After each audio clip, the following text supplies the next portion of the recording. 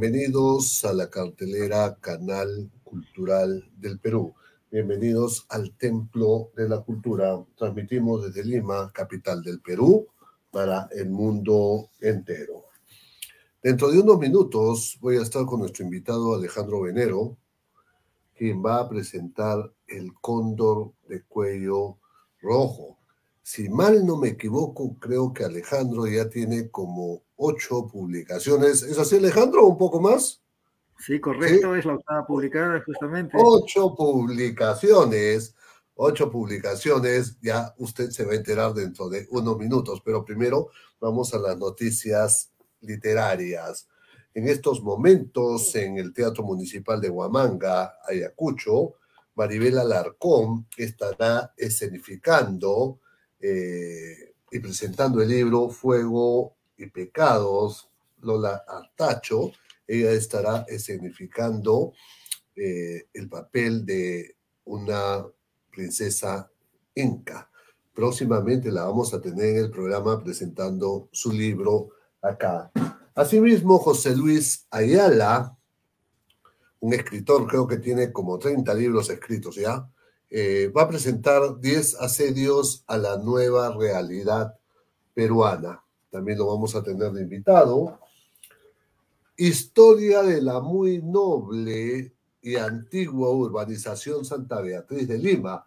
Este castillo que usted ve, este castillo existe, es el castillo Rospigliosi, ¿Dónde puede usted apreciar el castillo Rospigliosi entre las cuadras 13 y 14 de la avenida Arequipa? Esa calle se llama Manuel del Pino. Ahí puede ver usted el castillo Rospigliosi. Alej Smiches, desde Viena, Austria, va a presentar su última producción literaria. Y en la última Feria Internacional del Libro, estuve con un apreciado amigo Raúl Chanamé, quien presentó La República Inconclusa, Historia del Perú Republicano, un libro de aproximadamente 700 páginas, que sería importante que todo peruano lo tenga. Un agradecimiento a New Life, Centro de Bienestar y Salud. Tiene usted problema de coxis, tiene usted problema de contractura muscular, tiene usted problema de cervical, columna. New Life, Centro de Bienestar y Salud. Chen Sun Pan, médico de nacionalidad china, Visítelo en su página www.newlifeperú.com. Ahora sí, vámonos con Alejandro Venero, quien va a presentar su intrigante, romántica y trágica historia que culmina con un inesperado e insólito final, su obra El Cóndor de Cuello Rojo. ¿Cómo estás, Alejandro Venero? Un placer, un gran gusto tenerte. Bienvenido al programa. Gracias, igualmente, gracias por la presentación y has hecho un resumen bastante concreto y específico del tema y a eso solamente podría añadir otras cosas pequeñas. Claro, claro, que la, la, vas a añadir dentro de unos minutos para información del público que está viendo el programa en todo el mundo. Para información de los amigos que no ven, Alejandro Venero es médico cirujano por la Universidad Nacional Mayor de San Marcos, la cuatricentenaria de América, la Universidad del Perú, y tiene un doctorado por la Universidad de los Pueblos en Rusia, en el, y también ha seguido estudios en el Centro Nacional de Cirugía de Rusia y un posgrado en microcirugía. Dime, Alejandro, ¿cómo te das tiempo para, estás en el hospital, estás en tu clínica, y estás con la literatura. Eres un apasionado de la literatura, Alejandro Venero. ¿Me equivoco con eso? Es parte de la vida y creo que es una obligación expresar lo que tú resumes en tu vida diaria. Es un gran deseo exponerlo, no solamente guardarlo. Ese es el claro. básico. Claro que sí, pero tú tienes una colección ya de libros de Alejandro Venero que eh, puede vender lo, lo, los ocho libros eh, eh, coleccionables, maestro. Sí, es posible, son distintos, cada uno en temas algo diferentes. Sin embargo, hay un punto que es el denominador común, una gran pasión por aquello a lo que está dedicado. Una gran pasión, ¿no? Sí. Ok. Tu padre, tu vecina, tu madre tumbesina, tu padre cusqueño. estudiaste en Juliaca, en el Cusco, y quedó marcado por tu amor por la naturaleza. ¿Es así? Es la suerte de tener la combinación diversa de lo que es costa, lo que es sierra, y crecer en esos ambientes distintos.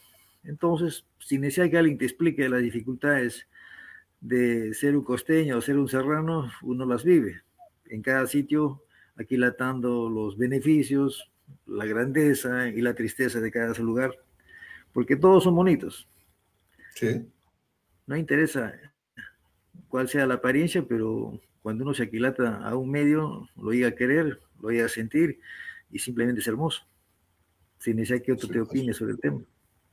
Es la suerte de la situación de madre, tu vecina, que es un contraste con un padre, padre serrano, cosqueño, bastante alejado, pero es buena, buena combinación, creo que enriquece mucho a los hijos. Claro, claro, claro, eso te enriquece, pero también podemos jalar un poquito del continente Asia, Europa, por donde has estado para, la, para que cuando escribes tus obras, porque parece que eso también se absorbe. ¿Cierto? Pienso que lo único que se requiere a una persona es tener los ojos abiertos y los oídos también, la mente abierta para captar en cual sea el lugar que uno se encuentre, captar aquello bonito, aquello bueno que existe. De paso, que es una inmensa suerte ver al país de lejos, que creo que muchos lo recomiendan y también yo, de ver a nuestro país de lejos. Se lo ve mejor y se le valora más. Pero, pero eso es cierto, pues eso es cierto, cuando, cuando uno está afuera, valora, valora más, pues. Por eso dicen, no, el que está dentro quiere salir y el que está afuera quiere entrar. ¿Cierto? Esto concierne también a lo que es Cusco. Veía mm, con tristeza a veces que se maltrataban las ruinas por la gente misma del lugar. Ha pasado el tiempo y ahora, bueno, bajo el interés de la cultura, de la visita turística, cuando menos se valora más, se le da más importancia a, esa riqueza inmensa que tenemos arquitectónica, no solo en Cusco, sino en un montón de lugares de nuestro país. Son detalles que hay que querer, porque no se repitan, se destruyen y es imperdonable destruirlos. Claro que sí, claro que sí. Para información de los amigos que nos ven en todo el mundo, Alejandro Venero a los 11 años, por el Día de la Madre, su primera composición la presentó. ¿Es así, maestro? Ahí arrancaste, creo. Fue una casualidad, porque yo no pensé en ningún ¿Casualidad o causalidad? Ambas yo más causalidad que casualidad. Ambas cosas. se descubre esto muy simple. Hicieron un, concurso donde pidieron escribir un, un pequeño resumen de algún detalle que uno quisiera. Y yo simplemente miré por la ventana y vi lo que era un amanecer. Ese fue el tema, amanecer andino. amanecer andino, ya. Y no había mucho que, que imaginar porque todo estaba ahí. Tanto el sol radiante, el cielo precioso, cantar de los pájaros, el resto, la imaginación lo coloca. Entonces, no había mucho que imaginar. Había simplemente que escribir lo que sentías, lo que veías, lo que escuchabas. Y me descubrí a mí mismo que yo era capaz de percibir algo que desgraciadamente para otros pasa desapercibido, sin mayor trascendencia, y para mí era importante. Claro que sí. Y eso te marcó, eso te marcó, ¿no? Dime una cosa, y también para estudiar medicina. Eso fue antes. Eh, algo bastante temprano. Pienso que los niños copian aquello que les impresiona. Yo empecé a estudiar en un colegio en Juliaca, un colegio que estaba dentro de un hospital. Inevitablemente, una de las primeras imágenes que llego a ver son personas con mandiles blancos. Esas personas eran médicos. Así que no es mucho de asombrarse de que uno pretenda emular esa imagen que uno ve de niño. De ahí la importancia de que a un niño se le dé una impresión positiva muy temprano, no esperar a los 10, 11, 15 años para pensar algo, sino muy temprano, donde es una esponja que absorbe todo tipo de impresiones favorables, así como negativas también. Si son favorables, queda para siempre. Esa fue la razón de elegir medicina. Oh, ya, ok, ok. Ahí se inspiró usted, maestro. Y arrancó. Claro, claro que sí. Sí. Ok, ok, ok, ok. Su, tu, tu viaje, ¿no? Claro, te ayuda. Estudiaste en, San Fernando, pues San Marcos, para luego te fuiste. ¿Cuántos años por Europa, Alejandro Venero? 17. 17 años, señor. Sí, la juventud. La juventud está llamada. Mal llamada porque la juventud siempre está presente en uno, así como la vejez. Ambas cosas van juntas. Siempre juntas. juventud en cuanto a pensamiento, en cuanto a actividad, y la vejez en cuanto a madurez de lo que expresas, madurez en lo que sientes. No es muy comprensible de repente, pero es difícil encontrar un límite donde ambas cosas se junten. Ambas son indispensables. Pero claro. Eh, así lo entiendo yo. Claro, ¿por qué acá manifiestas, eh, dice, la coyuntura laboral y social generada por la pandemia en el año 2020 permitió que retornara su amor por la narración y la poesía? ¿Por qué? Ah? Coincide con que dejo mis labores en el Hospital Militar Central, donde yo trabajé muchos años, y Asimismo, el tiempo de la pandemia, que con esto del enclaustramiento, genera un tiempo libre, muy tedioso para muchos, pero útil para otros. Sí, este sí, sí, Útil para mí. En cuanto a algo postergado, sentarme y simplemente seguir, seguir, seguir, donde el tiempo te queda chico y, y no ves la perturbación de las limitaciones, sino al contrario, es el beneficio de tenerlos. Ok, ok. Tu primer libro, ¿cómo se llama? Todo el Perú. Todo y es dedicado en poesías, 60 poesías dedicadas a la costa, a la sierra y la selva. Todos tienen un común denominador, inmenso amor hacia la naturaleza y a una naturaleza que yo la conozco. Claro. Cada sitio, cada sitio tiene su parte hermosa una selva con todas sus injerencias, una sierra con toda su rudeza y una costa a veces con una soledad que no abarca mucho. Todos tienen su parte hermosa. Y mi única labor ha sido destacar eso, destacar para, para todos, encontrar en un día nublado la alegría que no la ven, encontrar en un día lluvioso esa felicidad que muchos la ven negativa y no entiendo el opinar que tenemos un buen día solamente a un día con sol radiante. No, un día es cualquiera. El día que lo tengas contigo la alegría, el día que veas esa naturaleza que habla contigo, será un buen día. Ese, sí, pues, sí, sí, sí, Es el fondo de ese, libro, de ese libro primero. Poesía es dedicado a la grandeza de nuestro país, a la suerte que tenemos de tener una, naturaleza tan variada y muy hermoso. Ok, tu segundo libro. Más difícil, Amor Verdadero. Amor Verdadero. Sí, y que realmente se presta a esa imagen porque mm, es una novela, pero como toda novela tiene un fondo real que origina esto tuve la oportunidad de verlo de costado, cómo se desarrollaba todo esto. Y es una historia de un amor que va por encima de todas las contradicciones. Conocías algunas, como son el racismo, conocías otras, como son el amor desigual por una persona con una discapacidad física, desconocías otra por el cruce de una enfermedad de por medio y la culminación que simplemente yo creo no puede alguien decir que el amor no existe. Claro que existe. Por eso se llama así, amor verdadero. Correcto. ¿Y tu siguiente libro? Son dos que van algo parecidos. Es, eh, Maleficios y desventuras. Maleficios y desventuras. Sí, que en realidad están dedicados en gran medida a aventuras pasadas por colegas médicos en sus inicios. Mucho se conoce sobre eso, pero no se cuenta de que todo aquel que hace sus pininos en sus estudios tiene que inevitablemente pasar, como cualquier colega de cualquier profesión, pues ciertas inclemencias, inclemencias de sus superiores, inclemencias de alguien que no lo quiere, inclemencias de una competencia donde no se juega abiertamente, sino al contrario, con actos no muy, no muy correctos.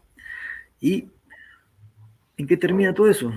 Algunos terminan bien, superando todo eso, por encima de los problemas, otros terminan con gran sufrimiento, pero son aventuras que muchos médicos ya mayores lo recuerdan como simplemente experiencias pasadas y no comentadas. Ahí la vas a encontrar, todo este tipo de situaciones de muchos colegas que difícilmente inician su trabajo y logran consolidarse. Sí, pues, es cierto, es cierto. La siguiente obra es media mm, satírica, agua tibia y otros cuentos. Agua tibia, es un término conocido que es, un apelativo de personas que no son ni, ni calientes ni fríos, por no decir. Pues, Siempre. Sí. Y lógicamente que es aplicativo a unos personajes de esta novela donde aparentemente se toma como una cosa positiva. Muchos lo toman como, una, como un rasgo positivo. No molesta a nadie, no reclama nada. En realidad no es una buena persona. Es una persona acomodadiza, acomodadiza a donde sopla el viento. Sin embargo, en cuanto se da una situación crítica, dura, difícil, ahí aflora realmente su inclinación. Y ahí recién se conoce a la persona que estaba dentro. Claro que sí, claro que sí. ¿De ahí que sigue? Hay varias historias en continuación en ese libro. Tiene otra que es con un nombre muy simple, Rosario. Rosario, que tiene mucho de real, pero también está añadida al plano de ficción, donde esta persona reúne cualidades que de inicio son positivas y son negativas. El estado de económico, digamos, mediano a más grande, puede ser una cosa muy favorable, pocas personas lo tienen, pero eso añadido a una incapacidad física no se ve tan bien. Y eso implica a la persona, lo obliga a rehuir, que es una medida de muchos. El verse disminuido por los demás socialmente es tratar de huir a otra supuesta sociedad donde esto no sea tan despectivo, tan negativo. Lamentablemente el mundo es redondo y en cada sitio nuevo encontrarás gente que también, tanto como te han diseñado en un sitio, te lo hacen en otro lado, de otras formas. Y aún así, nunca está ausente el camino de un amor, el camino de un sentimiento que surge donde menos se espera, donde menos se piensa y de quien menos sobre todo se espera. Sí, pues sí, sí, sí, sí, así pasa, ¿cierto? Ahora, como toda felicidad, la felicidad no es eterna. La felicidad dura, dura no mucho a veces. Y sin embargo, mm, este libro se condensa todo esto se Y la, felicidad, cada uno tiene su propio concepto, concepto de ella. Exacto, tienes toda la razón del mundo. Eh, creo que con el tiempo la persona madura debe exigir menos. Debe. Pero el debe y es no van de la mano. Uno cuanto más se expande, eh, debe ser menos exigente. Apegarse a lo bonito, apegarse a la suerte de tener algo dichoso y no extenderlo y acogotarlo para convertirlo en tal llamado eterno. Amor eterno es solamente una canción de Rocío Durcal y la canción dura seis minutos. Lo sabes muy bien y eso debería ser bueno expresado para muchos que creen que el amor eterno es una eternidad. No es una eternidad. Pero el sentimiento es. importante, muy importante. Claro que sí, pero también, también en las obras eh, hay que entender bien los mensajes, ¿no? Porque, por ejemplo, cuando dicen, ¿no? Hasta que la muerte nos separe, no necesariamente estoy hablando de la muerte física. Claro. porque el amor también se muere a medio camino. Sí. ¿Es cierto? Y esa muerte nos separa, pero físicamente yo sigo acá. Claro, es una forma muy no tan literal del asunto, pero tienes razón. Este, son frases bonitas, eh, dichas a veces por cumplir, pero no son reales. No son reales, pues, no son reales. Eso, eso, eso, eso, es muy cierto, eso es muy cierto. Dime, Alejandro, y para ir entrando al, al, al cóndor de cuello rojo, Gabe, ¿tienes otra novela más todavía? Sí, en realidad Coronita, una que es ciencia ficción, dedicado a toda esta pandemia, lógicamente que está hecho en ciencia ficción, que es demostrar la esencia de cómo pudo haber surgido toda esta tragedia. Y a eso se añade toda la tragedia, no solo la original, sino donde muchos entes se han agregado para agravar el problema. Uno es el fondo, otros se agregan tanto los desconocimientos, la ignorancia, así como el interés de muchos entes que han encontrado en la tragedia un gran beneficio. Todos lo sabemos. Gente que antes era imposible de imaginar vendiendo una mascarilla, haciendo negocio con oxígeno, y sin embargo, todos sabemos que en eso se convirtió. Pero la ciencia ficción nos permite dar una imagen distinta de todo eso, y es el fondo de, esta, de este libro, con cariño sardónico llamado Coronita, por apelativo de Don Corona conocido. Este último, ya viene este libro, el que vamos a hablar hoy día, es el penúltimo porque tengo otro más que ya lo comentaremos en otra oportunidad. Ya, estarás, tú tienes las puertas abiertas de este programa para, para que presente, pero también hay que invitarlo al público. Claro que sí. Por ejemplo, para Navidad, regala libros. ¿Y qué mejor alguien que estimas?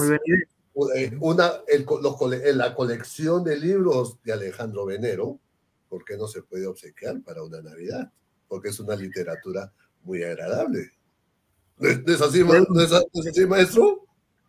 Me parece muy buena idea y si tú estás de acuerdo, incluso podemos quedar desde ahora que para esa oportunidad hacer esa exposición con el obsequio respectivo. encantado, encantado, tiene las puertas abiertas. Hacemos la exposición de, tu colección de libros. Ya, quedamos así. Listo. ahora lo voy a tomar nota en agenda de programación. En diciembre. Listo, Claro que sí, claro que sí. Dime, Alejandro, ¿cómo nace el cóndor de cuello rojo? Tengo una imagen bastante precisa, creo yo, de lo que es esa palabra terrible y difícil que se llama amor. Amor, ya, ok. el amor es un motivo de tanta gloria y tanta desgracia que hasta de más son mis palabras, que todos lo sabemos en forma directa e indirecta, y si alguien no lo sabe es porque sí sabe, pero no lo dice, o sabe y miente y no lo sabe. Pero bien, un amor, digamos, ideal que la gente cree es un amor compartido en igual intensidad. Pero eso es tan raro, tan raro que ni con microscopio lo encuentras. Casi, pues, siempre, casi siempre sea un amor intenso de una parte, menor de otra parte. Y lo que muchos creen que es una desgracia, el que alguien quiera y la pareja no lo quiera uno, la verdad no es la peor desgracia. La peor desgracia es otra. La peor desgracia es que uno quiera, la otra persona no lo quiera, pero sin embargo esté con uno. Y está con uno, ¿por qué? Por motivos X de intereses diversos, pero que no lo quiere. Entonces pienso que el, un mal amor no es el que no te comparta el sentimiento. El mal amor es que te acompaña y que no te quiera. Ese es la, el verdadero mal amor. Parte de eso está en este libro, donde hay un enamoramiento terrible, una intensidad. Espero que cualquiera que sea adulto lo conozca, porque conocer el amor es precioso. No se puede decir que no, no quiera alguna vez porque es una suerte querer y es una dicha querer. Que comparta eso a la otra persona o no, y es otra historia. Es otra historia, sí. En este caso, eh, el amor está dedicado en alta intensidad por una parte y por la otra, digamos levemente. En forma muy resumida está escrito el libro, eh, la parte prosa, la parte inicial y al final.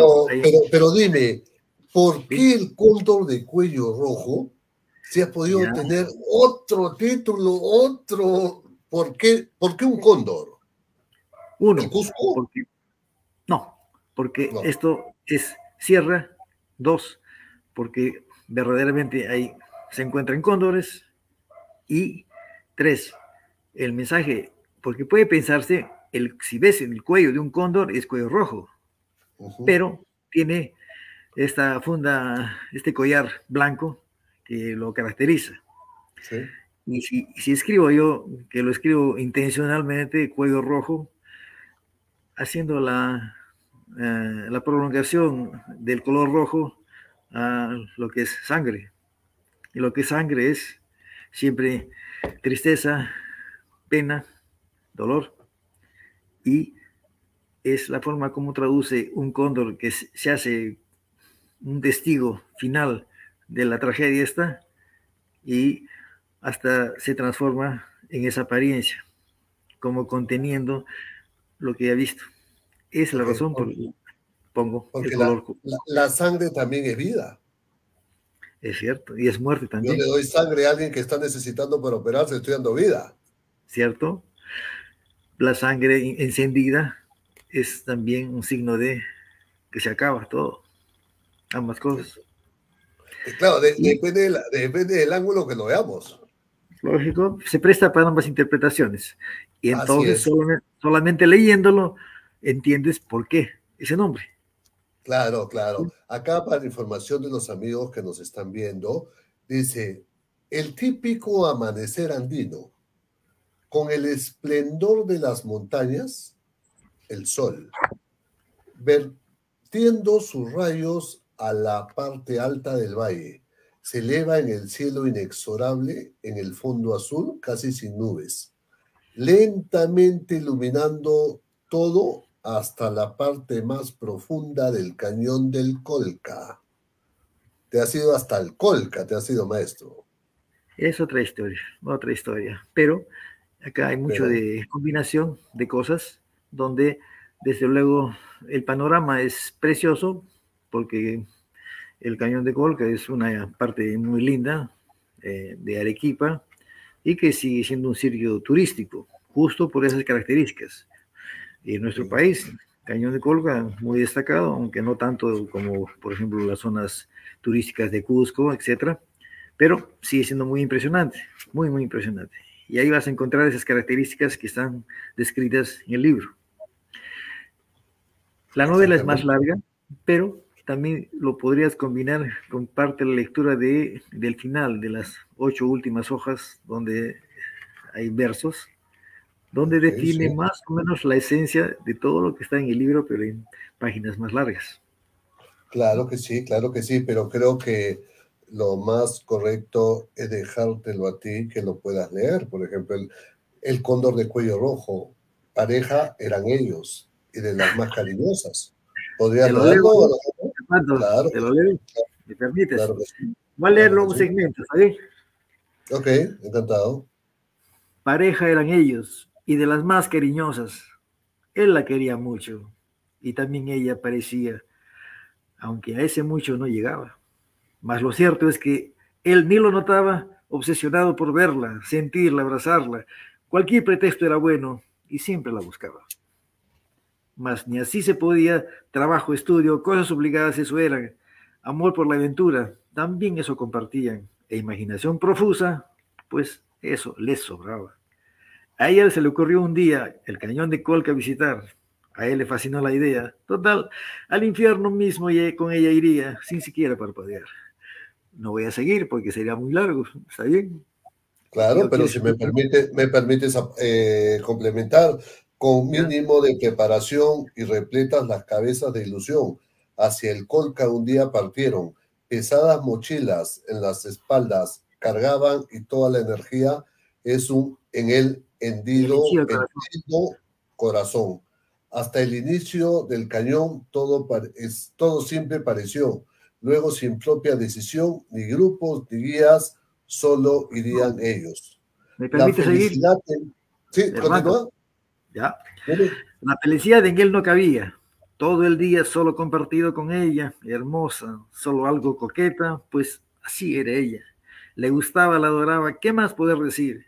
Llegó a su fin el bus y toda esa marcha a pie sería. Ya al solo inicio el paisaje impresionaba, montañas a los lados y el cañón profundo entre ellas, belleza imponente de por sí.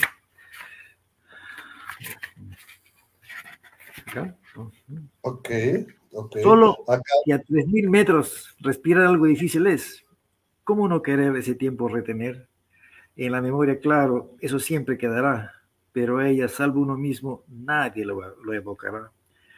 Una foto es la solución, un selfie, no, muy cerca, con paisaje incluido, de más lejos debe ser. Y así fue y así quedó en la eternidad juntos, al menos en la foto. En algunos lugares con otros coincidieron, sol intenso en el día, la gelia, noche la gelia luna de noche, un cielo rebosante de estrellas, todo eso todos los días. No era una luna de miel, realidad inimaginable era.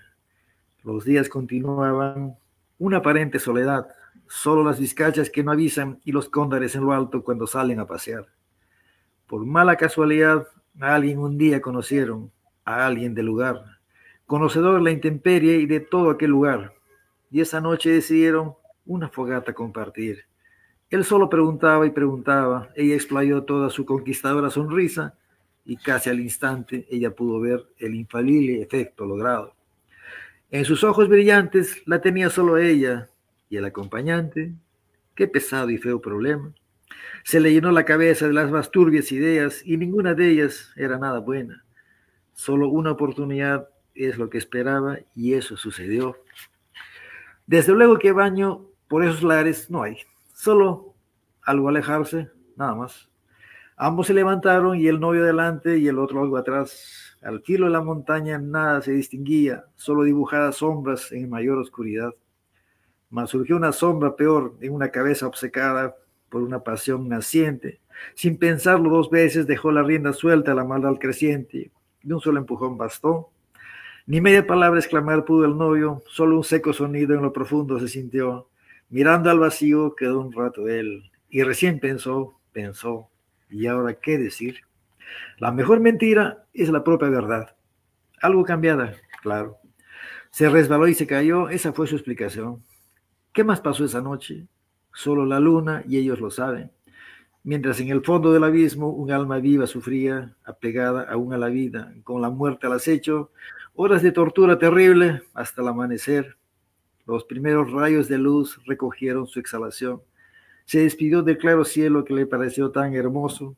Vio un cóndor en lo alto y ya, ya no lo vio más. Él lo acompañó un rato como gesto de compasión. Se impregnó de algo y luego se marchó. Lo demás dice suponer. Dicen que se perdieron, dicen que se cayó. ¿De qué nos sirve eso si él ya no está? Solo algo cambió aquí en el cañón del Colca, a veces muy temprano, en lo alto en los cielos han visto un cóndor volando, un cóndor de cuello rojo. Es él que a ella busca, a su amada, hasta ahora sin entender que amar es peligroso y a veces fatal. Si lo ves un día, regálale una sonrisa para que quizás pueda su dolor apaciguar y pueda por fin un día su corazón descansar. Gracias. Maestro, ¿quién es Alfonso? Es un personaje imaginario que supuestamente los acompaña. Eso está en la novela. En, los versos no figura, pero en la novela sí figura. Por eso hay pequeña diferencia en ambos contenidos. Ok, pero ¿y por qué Alfonso se ha podido ser Miguel? ¿Te has inspirado en alguien? Claro, ha podido, ser, yo, Carlos. No, eh, Carlos está para otro, otro contenido. ¿ya? Ah, ya, ya, ya, ya, eso es, ya, ok, Y no me lo digas porque, porque aparecerás. Este, Alfonso es un personaje no muy grato que entra en la memoria y creo que encontró su, su utilidad al ser abocado en esta, en esta situación. Ok. Dime, ¿y Ángela? ¿Por qué Ángela? Puede ser María, puede ser Luisa. Mm, de repente es una imagen sardónica de Ángel. Ángel es una imagen bonita, imagen eh, muy, bueno, religiosamente hablando. Sí, ya. dedicada a buenos sentimientos, etcétera, etcétera. Y de ahí viene Ángela, ¿no? el, la, el, complemento de Ángel. Pero esa Ángela no necesariamente pues, va a ser tan bonita ni, ni bondadosa ni nada por el estilo. A veces la imagen de lo contrario. En este caso, eso es. Ok, ok, ok. Pero también hay un personaje que se llama Pablo.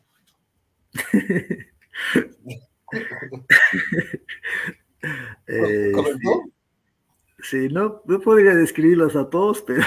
no, no, no, no.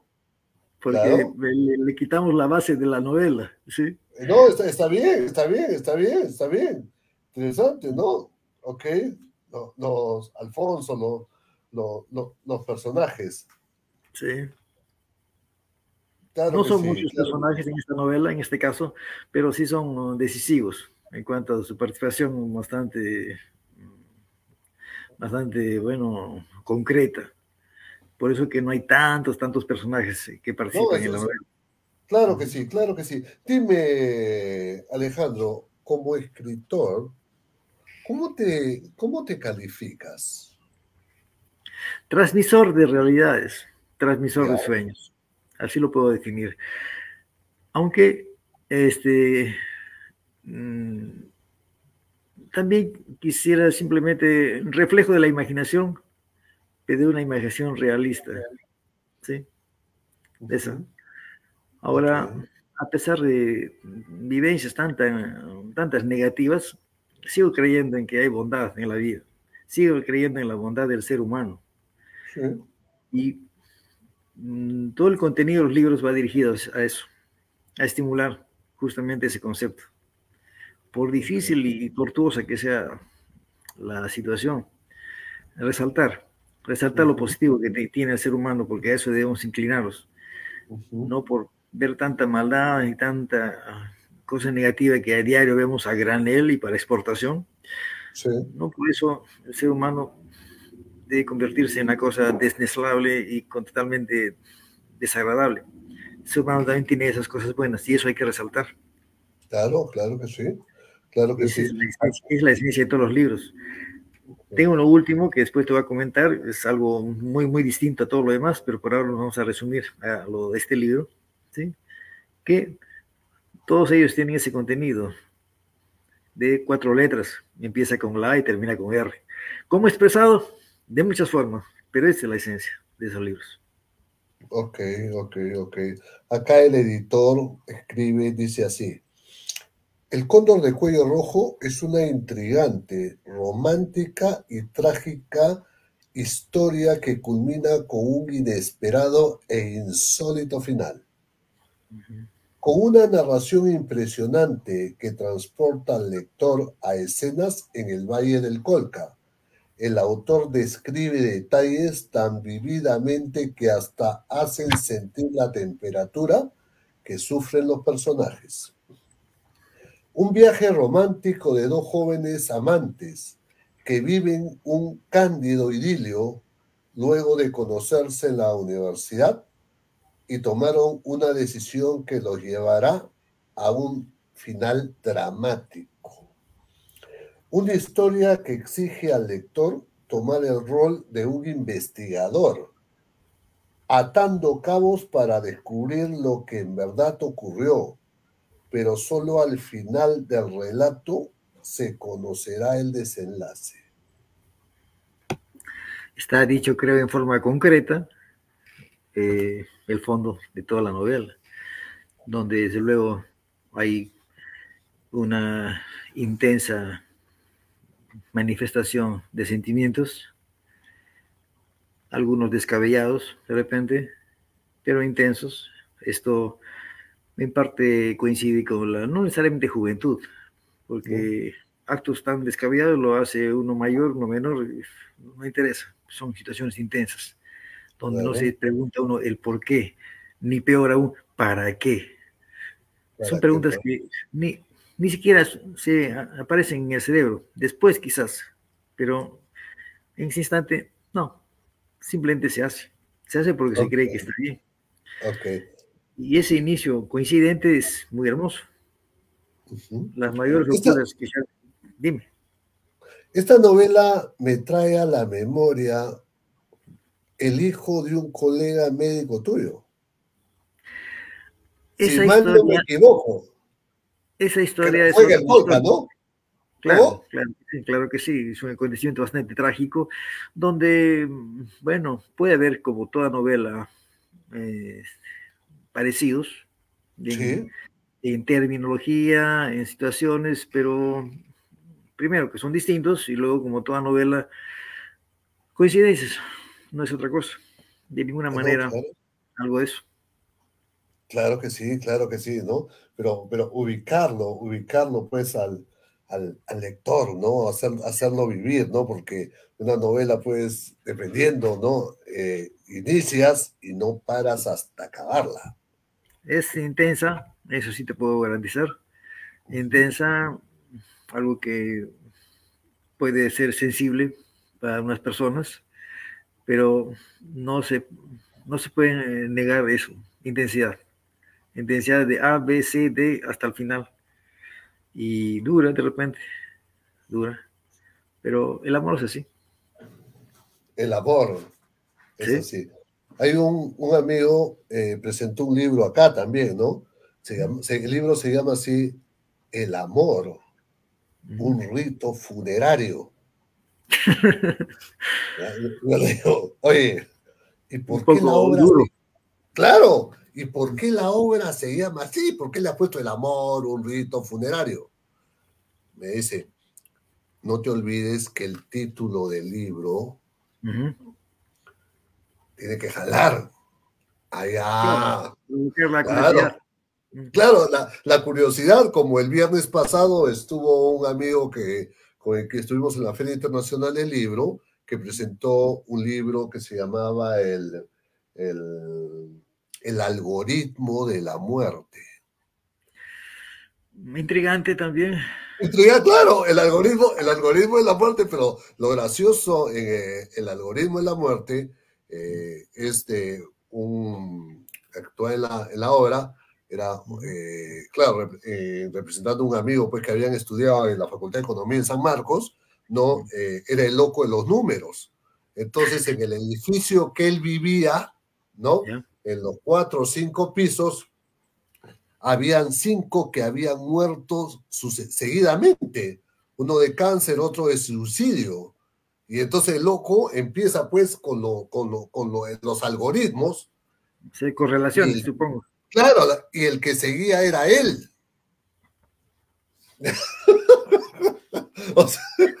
pero, en realidad no está tan alejado de la realidad. Tú sabes que casi todas las cosas pares coinciden. Cuando hay dos cosas que continúan negativas, casi siempre hay una tercera. Es una, regla no escrita, así que no está tan lejos de la realidad, salvo que él de repente ha sido exagerado en pensar que él seguía. Pero, claro, claro. Claro, pero eso es lo interesante, pues no. Abro el, eh, el, cóndor de cuello rojo, ah, no, hasta que acabo. Claro que sí, claro que sí. Mi apreciado Alejandro, ¿qué nos vas a traer próximamente? Por si acaso para información de los amigos que nos están viendo en todo el mundo, he agendado el lunes 12 de diciembre a las 7 de la noche. Ya te voy a pasar para que estés acá en el programa y vamos a presentar pues tu colección para diciembre. Bueno, para la siguiente oportunidad te tengo guardado esto. Ajá, ¿cómo se llama? Pabellón Asia. No digas nada, solamente muéstralo ahí. Ya. Pero este sí lo puede, este lo podemos presentar antes de diciembre. Sí. ya, ok, vamos a coordinar para ya, eh, para septiembre, segunda, segunda quincena. Ya, coordinamos, te paso la fecha, tú me confirmas, ya, ok, va agenda de programación para que, lo, para que puedas presentar el, tu, tu, próximo libro, pues. Ya, ese va a ser. Eh, y esto es dedicado al amor, el otro es una locura completa. que después bueno, Claro que sí, claro que sí. Vámonos, nos escriben Ivonne, Karina Llantas. Felicidades, doctor Venero, una hermosa obra. Karina Yantas es una escritora eh, de Junín, Huancayo, quien próximamente va a estar presentando su libro, Abra Cadabra, ¿no? Es una joven, la conocí en la Feria Internacional del Libro, está en primero y secundaria, y ya tiene su segunda producción literaria, ¿no? Nos escribe Sonia Coyat, esperando con ansias, las muchas más novelas por venir, claro que sí, sí, en la cartelera, y en diciembre va a estar presentando la colección completa, ¿no? Alejandro Venero, Ivonne, Karina, qué lindo, dice, ok, mi apreciado Alejandro, un gran placer, un gran gusto haberte tenido en el programa siempre las puertas abiertas para ti, maestro. Muchísimas gracias por tu gentileza, por la oportunidad de esta presentación y bueno, eh, agradecerte nuevamente a ti y al público que te sigue para tener la oportunidad de conversar nuevamente. Gracias a todos.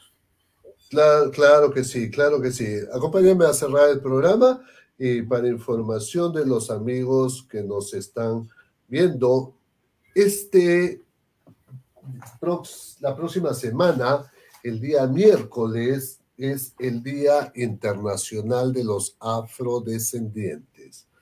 Hoy día, minuto después de las nueve de la noche, voy a estar con Ana Romero de la República Dominicana, voy a estar con Consuelo Cruz de la hermana República de Colombia y voy a estar con Enrique Avilés Aldomando de Perú conversando sobre el Día Internacional de los Afrodescendientes, minuto después de las nueve de la noche. Lo dejo con el spot de agosto del programa. Marina Venero nos escribe. Gracias, Marina Venero, por seguirnos minuto después de las nueve de la noche. Lo dejo con el spot del programa. Bonita noche para todos. Chao.